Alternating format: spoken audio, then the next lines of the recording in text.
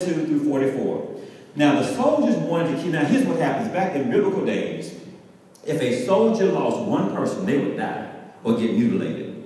So it says right here that a soldier wanted to kill the prisoners and make sure they didn't escape. Look what happens. Read, read verse 43 with me, please. But the commanding officer wanted to spare Paul, so he didn't let, any, let them carry out their plan.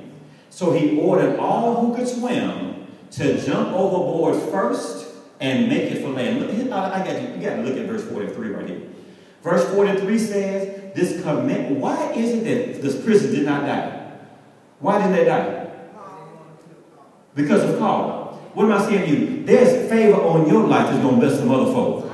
See, the, the, the, the prison at that point, they said, if this ship goes down, if, if any prisoner escapes, the, prison, the, the guards knew they were going to die. But because Paul had favor, as a result, other folk got blessed. There's some folk in your family that are covered by your favor, and folk on your job covered by your favor, and some folk in your neighborhood covered by your favor. So when the storm comes up, well, a thousand fall at your side, ten thousand at your right side, but it shall not come nigh thee, because there's some favor on our lives in the name of Jesus. But because of the favor on Paul's life, other folk got saved. Good. Now, now here's what happened. But suppose Paul had done like some of us have done when storms come up. If his actions and his beliefs and confession didn't line up, you, you know the story would end a different way right here. It's a matter of saying that, that when in an impossible situation, when things don't look like you wanted them to look at all, and things are looking so bad, our, our actions and our beliefs and our confessions have to line up. And look what happens. Now the angel said you are going to make it. Look, now this is what I want to read verse 44. Let's read this together. And the rest, some on boards and some on broken pieces of the ship.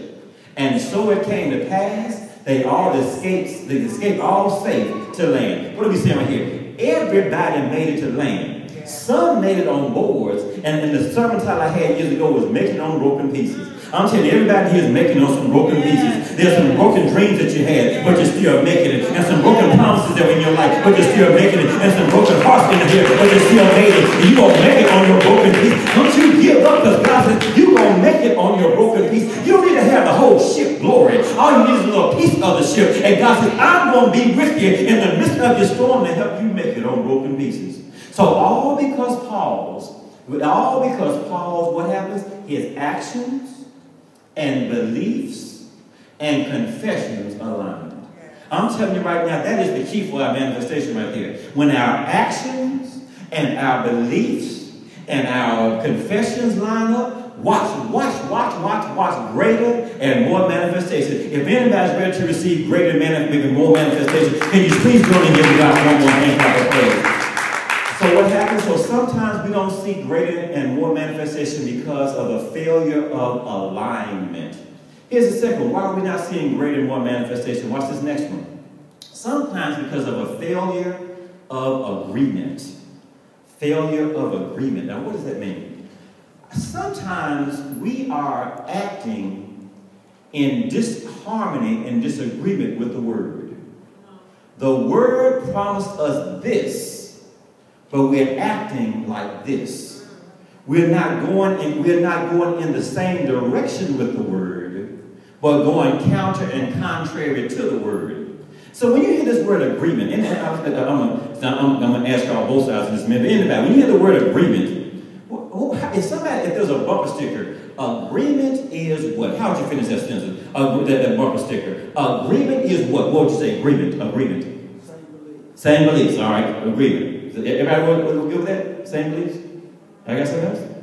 Y'all still full of turkey? So that agreement is full of. Now here's what happens. Let's look, let's look at this idea about agreement. Agreement comes from the Greek word, which look what here.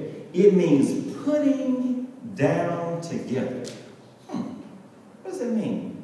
Here's what happens. Suppose, it, it, so let's think about this in, in, in, in any relationship. So I'm going to use my wife and myself now. Suppose she has a desire to go one place and I have a desire to go another place, then there's disagreement. Agreement says we're going to put down what we wanted to individually and we're going to rise up together united. That's what agreement is. That I'm, I'm, I'm going to put it down. That, we, that, that, that this is standing in the way of harmony. And so I'm willing to put down what I want. I'm willing, you're going to put down what you want. We're going to put it down together. But we're going to raise up with something stronger and something better because we've come into a spirit of agreement. So agreement is we have agreed, we have said we're going to put things down together. Opinions or habits or situations, we're going to put that down together and then raise now with an, another level of unity. Is that good? So we're talking about agreement there, agreement. Second thing, that's from the from one, one Greek meaning. Next Greek meaning is understand, support, or guarantee. So this is symbolic to the covenant of the Old Testament. When somebody made a, somebody said something in the Old Testament, there was a covenant made. And you remember in, in, in Genesis 15, that at this point they, they would cut animals in half, and if somebody broke the covenant, they would say, May you be like one of the, the corpses over here. And as a result, so this idea of agreement now, we guarantee that now we have agreed, we are going to guarantee we're going to see this thing through. We're going to support each other to see this thing through. We're going to stand under one another and stand under our promise and stand under our commitment and stand under our covenant. That is what agreement is all about. So now, with that having been said, now we can read Matthew 18, 19, and 20 together. Let's read this together. Again, I say unto you, that if two of you shall agree on earth as touching anything that they shall ask, it shall be done for them of my Father which is in heaven. For where two or three are gathered together in my name, there I am in the midst of them, a spirit of agreement. And here's the point. I, I, I, want to share this now. I'm going to say what I'll say here. Let's read this. So you should never say amen to anything you are not certain about or are not in complete agreement with. Because to do so is to be speaking with hypocrisy. Sometimes folks ask me to pray for stuff, and you know in your spirit it doesn't feel right. If we go back and put our agreement with that, then that's hypocrisy. If you know it's not lining up with the word, I don't care, I don't care how much Boo say he loves you. If it's not lining up with the word has said, if I go back and put my agreement with it, because it says if two or three shall touch and agree on anything we ask, it shall be done. That, I, that, that now our role is to make sure we understand the word enough. We understand the movement of God enough to say, when you to ask me to be in agreement with you, I now know this is consistent and not violating what the word is saying. So I'm telling you, some people have asked us to, to pray some things that are completely contrary to the word. And here's another piece. When somebody asks you to pray for them, I'm offering that it's time to be clear about asking specifically, what do you want me to pray for? You got to I, have told you a story. We had a former member who was going in having heart surgery. And he said, I want you to pray with me. So I assumed that what he's asking for is to have complete healing. They didn't have to go through the surgery. He was asking for prayer that the insurance company would pay for the surgery. We were not in agreement. And so, and so, so in the midst of so I, so I get through the prayer. I mean, I'm throwing down that prayer. I mean, we shot, we shot our time out in tongues, and by the time we get done, like, Amen. He's looking like, that's not what I asked you to pray for. So you got to be clear about what the agreement. So I was not in agreement because I know he, I, I, I needed to be clear. Just take one more minute. Now, let me be perfectly clear. What is it that I'm agreeing with? What do you ask me to pray for? Now, he did go back and pray you know, for the insurance, and the insurance did pay. But I, I, I mean, that was a good prayer right there. I'm put that thing in the kitty. So not that kitty. But the idea was, I have, you have to be in agreement. I have to be clear about what people are asking for as well. So when there's not, when there's a failure of alignment, when there's a failure of agreement, that's when we're positioned, we're out of position to receive what God has for us. And why are we not seeing greater and more manifestation? What's the last one? Failure of abandonment. Failure of, what, what does that mean? See, abandon means to com- leave completely, to desert, give up, or discontinue. What are we seeing right here?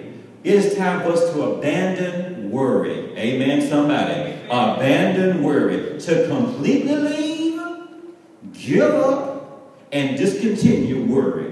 It is time to make sure we abandon worry. Now, there's enough in the natural if we look at this world in the natural realm, there's enough to be worried about. But in the supernatural, we trust that God has already worked it out as well. Now, what does it mean right now, worry? Worry simply comes from the Greek word that means to strangle and to choke out. So now, when I'm worrying, I am choking out clarity that God has for me to get out of this situation. Come on now. That when I'm worrying, I'm strangling the clarity, the insight, the wisdom that God has for me to now work this out. It's already been done, but now my worry clouds the path. My worry, I now can't hit the GPS. My worry, I don't know how to work this thing out. And so now I'm just, I'm just going around and not sure because worrying will strangle and choke out things. Worry, worry. Read this with me, please. Worry is a down payment on a problem you may never have. Mm, mm, mm. Get a refund. And I love this one here. Let's read this together. Worry is a conversation you have with yourself about things you cannot change. Well, oh, watch this about prayer there. Prayer is a conversation you have with God about things, and we ought to say, He has changed. Glory to God. So worry I'm having this conversation with myself, can't even change it. Can't change this, can't change that. And that's been so worry is developing. I'm strangling, choking out. Prayer is about saying, I am now talking to God about things He's already worked out as well. What about worry? Worry implies that we don't quite trust God. Trust that God is big enough, that God is powerful enough, or loving enough to take care of what is happening in our lives. Come on, somebody. Worrying, worrying, worrying, worrying. And so when worry, look what 2 Corinthians 5 7 says. Not just in every translation, but one translation. Worry ends when faith begins. Faith and worry cannot coexist. Light and darkness cannot coexist. But when, so if I'm going to worry, don't pray. And if I'm going to pray, come on, don't worry. So whenever I decide I'm going to trust God and step out on faith, that's when worry is going to end in. So what he's saying in Philippians 4, 6, and 7? Don't worry about anything. Instead, do what? Pray about everything. Pray. I'm, I'm, talking to God about things He's already worked out. I'm talking to God about things He's already changed. Tell God what you need and thank Him for all He has done. Glory to God.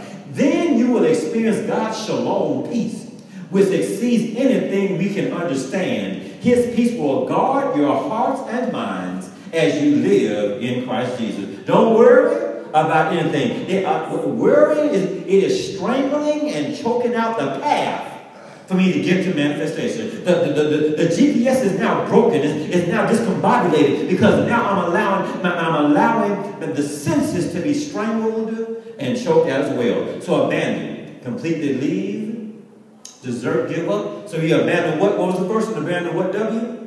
Worry. Here's what the next one. Abandon wavering. Give up wavering. Discontinue wavering. What does that mean, wavering? There are, there are some people who have what I guess they call it now commitment issues. Wavering. I didn't ask you, this, is not a Catholic church. You, I'm not the father. You don't have to come to a little to confess right now. So if that's you, you just you say amen and smile. So, so abandonment is just wavering. Wait, what is wavering? Wavering simply is being double-minded, unsettled, unstable. Now, see, some people that see some people that way, they're trying to call me crazy. Now, what it means is, is double. Here's double-minded. Double-minded means I know what the word says, and I'm going to believe that for a minute.